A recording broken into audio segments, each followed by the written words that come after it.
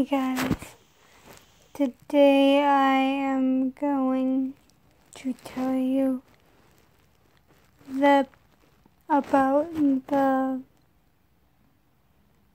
people who encouraged me to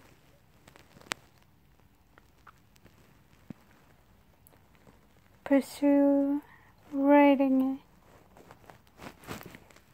one of the people who um,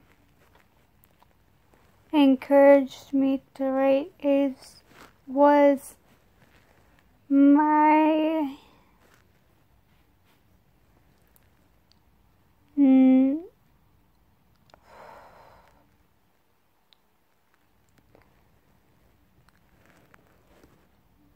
my literacy teacher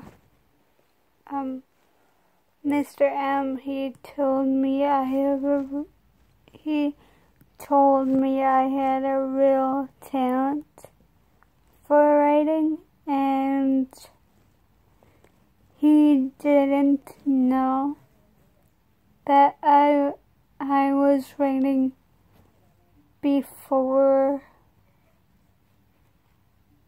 that before he told me I should become a writer. And he um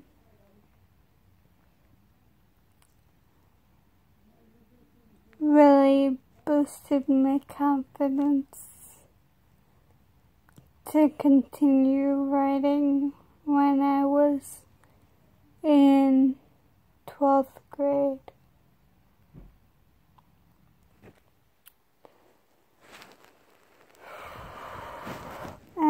And my mom and